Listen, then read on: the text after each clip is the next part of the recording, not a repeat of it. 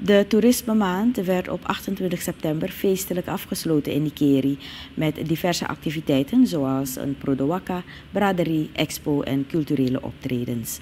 Hoogtepunten waren de onthulling van het naambord bij het Brassaplein en het populaire Nikfest met nationale en internationale artiesten.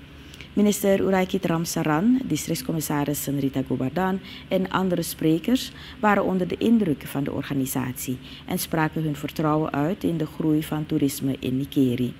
September is uitgeroepen tot Toerisme Maand in Suriname met extra aandacht voor de sector.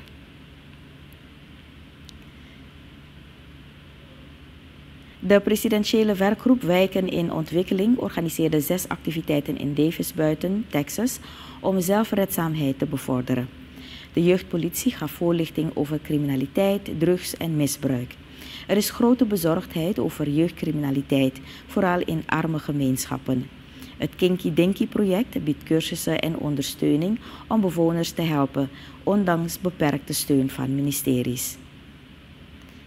De 40-jarige truckbestuurder KR overleed op 28 september bij een ongeval in het Lawa-Tabiki-gebied nadat hij tegen een mast was gereden. De Franse politie onderzocht het incident en stelde vast dat het ongeval op Frans grondgebied plaatsvond, waardoor KR niet als een verkeersdode van Suriname wordt gerekend. Zijn lichaam is overgebracht naar Paramaribo en overgedragen aan de nabestaanden voor de begrafenis.